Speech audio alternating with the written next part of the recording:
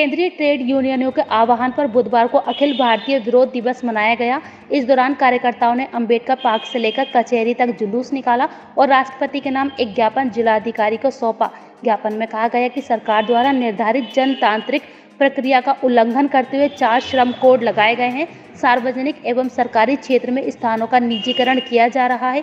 सरकार द्वारा वर्ष 2021 बेच के लिए प्रस्तुत किए गए बजट में भी इस प्रक्रिया को तेज़ी से आगे बढ़ाने की बात की गई है।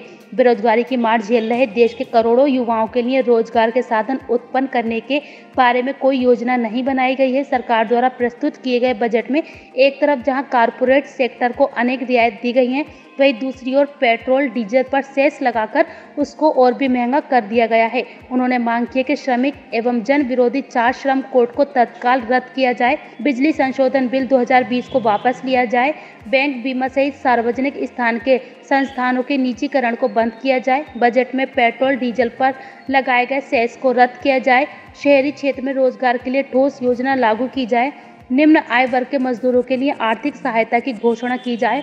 इस अवसर पर वी शर्मा, इस्लाम अली, मोहम्मद आलम आदि मौजूद रहे।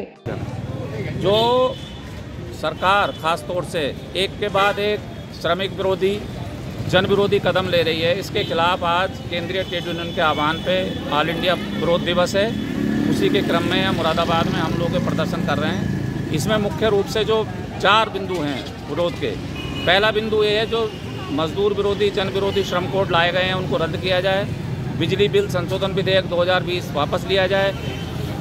जो निजीकरण का एकदम पूरे देश को बेचने की जो योजना चल रही है, इस पर विराम लगाया जाए। और जो गरीब मजदूर हैं, उनको आर्थिक सहायता दी जाए। और जो बजट में, तमाम जो बजट में निजीकरण के, डीजल, पेट्रोल पर पे सेस लगाने का, अमीरों को बहुत ही राहत देने का, रियायतें देने का, गरीबों पे तमाम उन पर बोझ बढ़ाने का जो योजनाएँ लागू की गई, घोषणा की गई है, इनको जो है वापस लिया जाए। इन सारी मांगों को लेकर हमारा विरोध प्रदर्शन है।